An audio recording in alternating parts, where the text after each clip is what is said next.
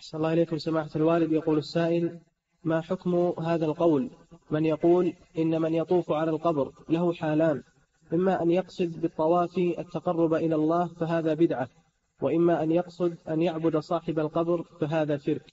لا داعي إلى هذا الكلام لأن هذا يسهل الأمر على الناس ويهون هذا الأمر. تقول القبر طواف بالقبر لا يجوز لأن الله لم يشرع لنا الطواف إلا بالبيت العتيق.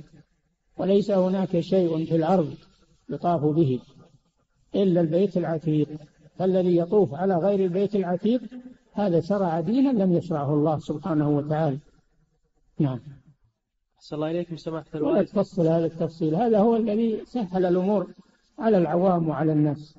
ما داعي لهذا التفصيل. أنت إذا فسرت الشيء وفصلته هان على الناس. فتساهلوا فيه. نعم.